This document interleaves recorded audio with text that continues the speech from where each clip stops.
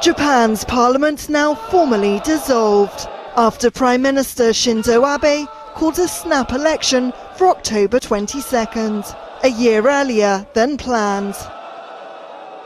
Abe is taking advantage of bolstered approval ratings, partly on the back of his handling with the situation with North Korea.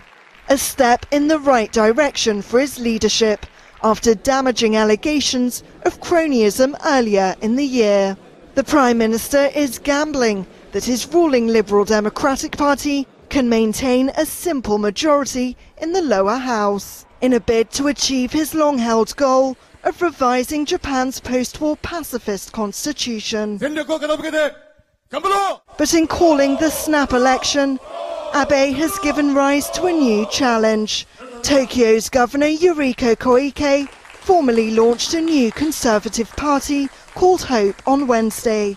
And according to one Japanese newspaper, showed 18% of voters plan to support it, compared to around 30% for Abe's LDP. Koike and opposition lawmakers have criticised the Prime Minister for risking a political vacuum by calling the snap poll at a time of rising regional tensions with North Korea.